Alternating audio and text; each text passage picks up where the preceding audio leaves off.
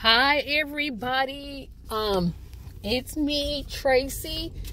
Um decided to do another the Saturday show episode while driving home. It's going to take me quite a bit to get there.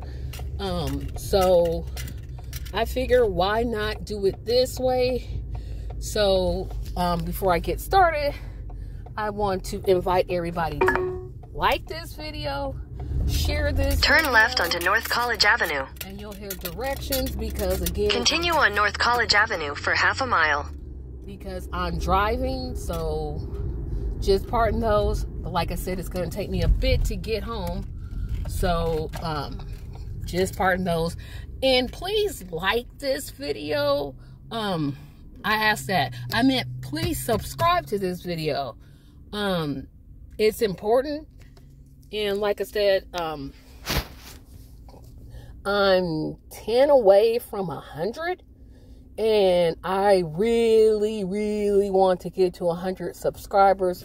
Don't know how I'm going to act when I get to 100, but to have 100 subscribers out there would be really, really nice and really um, a good thing. Um, you know, starting this channel two years ago, I struggled, struggled, struggled to get 30, and so to be this far away, to be this near to 100 is just mind blowing. So, if you could just see it in your heart to subscribe, I would greatly appreciate it. So, we're going to go ahead and get started. Um, I know, oh, yep, I wanted, and I'm struggling here because I'm trying to In a quarter mile, turn left onto Kessler Boulevard East Drive. Yep, and see how those directions are going to keep coming here, but we'll get to a patch where instructions aren't being raveled off. Remember to vote. Election day is Tuesday, November the 8th. If you haven't early voted, please get out and vote. This election, I don't want to go to it's Take the most- next left onto Kessler Boulevard East Drive. it's the most important election of our lives, but it is an important election. Um, so far, um, like I said, I have I put off voting. I was gonna do it last week, didn't do it last week. was gonna do it the week before, so I'm finally going to vote on Tuesday. So I'm gonna get up at about five o'clock, go to the polls, vote, and then go off to my doctor's appointment. Um, but just vote. I don't tell people how to vote, but if you've watched this show, Continue on Kessler Boulevard East Drive for three miles. yeah, see, I hate these instructions that are coming. But if you know me, you know how I'm going to vote. Um, it's no surprise. I pretty much think that the Democrats are just going to lose and lose big. I don't think they'll take over the Senate. Matter of fact, I had them losing. I have Warnock losing to Herschel Walker. Although, you know, I don't want to be right about that, but I'm like, Herschel Walker definitely is going to pull this out. And it's unfortunate, but I don't think that people in Georgia care much about his horrible lying record, is paying women allegedly to have abort not even allegedly that's not alleged i mean come on the ladies have receipts. I don't think they could care less about that they just want that seat. And um and i think the democrats are scared. For some reason they're like scared to fight back and i don't understand that at all because if you're representing the people sometimes you have to fight sometimes you have to fight to make a point and to say, hey, this is where I stand. I'm not going to just stand here and let you tell outright lies about me. But the Democrats just regress and they don't do anything and they don't, they just, it's like they run away from, they run away from fights instead of going, you know what it is? You know what it is? It's like they bring a knife to a gunfight. That's exactly what they do. They bring knives to gunfights. The Republicans are out here fighting with everything they have, and the Democrats are just like, Ugh, I don't know, I don't get it. We're gonna take the high road. Sometimes you gotta get low with them. If they throw much, you gotta throw it right back at them. But um, you can see my car inside here. Um, but yeah, this whole we go high when they go low. Mm-mm. No, sometimes you got to go low. They throw mud, throw it right back at them. You have to because if you don't, it's like you're telling your constituents, "I'm never gonna fight. I'm never gonna. I'm never gonna try hard. I'm never gonna do anything. I'm just gonna sit back and take whatever comes at me." And that is just not good. Um, so I don't expect this Tuesday's election to be good news for the Democrats. And of course, I'm the person that said that Trump was going to win the election. So, um, who knew? I mean, I, I literally thought, oh, you can't beat an incumbent. And to really be honest, Biden didn't really, I think he won like by what, 43,000 votes in what, four states or something like that. So it was close. Um, but of course, we don't use popular votes. We use the Electoral College, which, you know, whoever was the elect um, wins, what is it, 270 or 272 or whatever number it is. But, um, yeah, I, I'll tell you what I don't want to hear. I don't want to hear when Democrats lose the House that it was black voters' fault that they didn't win and black people didn't come out and vote. And my question to them, because I know they're going to say it, why? Why should we vote for you? What have you specifically done to benefit the black community?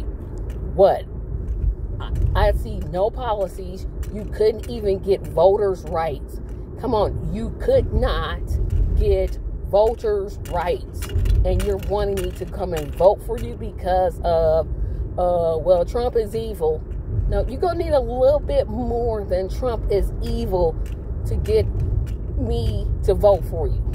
And I'm sure we're going to hear it Wednesday or Thursday when the counts, when the final count is um, tallied, how, you know, they didn't win because black people didn't show up and vote and they were disenfranchised and they'll talk two or three seconds about it and then move on to the next issue and then they'll just ignore black issues all over again. And then when they lose the next election, it'll be the same thing over and over and over and over and over again. It's like, cut it out. Are you literally that serious? But they are, and some people, unfortunately, are still going to vote for them. Um, this is the general election, so you don't have to vote on party lines. You could write in people. That's that if somebody's a write in candidate, you can always, always write their name. You don't have to vote for um, the lesser of two evils. I can't stand that phrase. I cannot stand the phrase lesser of two evils because I'm always saying if you have the lesser of two evils, when you take one away, you still have evil. You still, at the end of the day, you're going to have evil left why not? I, I don't even understand. I don't even understand what people mean by that. If they mean what I think they mean, then that means you're perfectly okay with voting for somebody that you think is evil to prevent the other evil guy from getting in. So, in the comment section, explain to me if you can or if you want to. Why do you think people use that you got to vote for the lesser of two evils um, conversation or argument to get people to vote for one of the major parties. I think it's a bad argument. I don't like it. I think it's silly.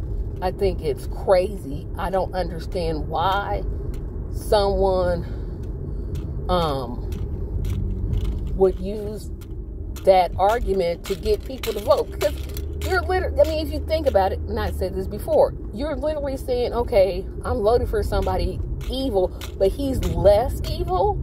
But then that makes him still or her still evil. It's like what what are you saying? It's like do you know what you're saying? And I don't know people who make that. In a quarter mile, turn right onto Emerson Way. Yeah, we know.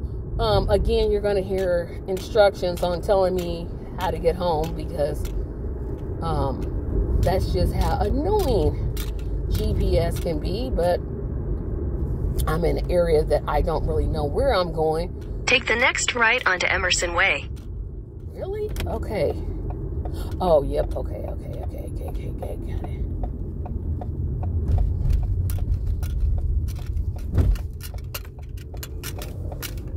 Continue on Emerson Way for three miles. But um, I'll tell you what though, it's just you know you're seeing. I, I again, um, I just turned my GPS off because now I know where I'm going. Um, I I cannot stand that argument. It just frustrates me. And then you tell them, oh, vote for a third party. That's like, oh, that's a wasted vote. But you just said the other two were garbage or evil. So what makes I I literally don't understand voters. I don't. Anybody in the comment section, please, because I don't understand. Um, it doesn't make sense to me. Again, the argument is just a bad argument. You're saying, okay, yeah, my guy's evil, but he's not as evil as this guy. Okay, but he's still evil. Um, so I don't know. I think this election is going to be telling.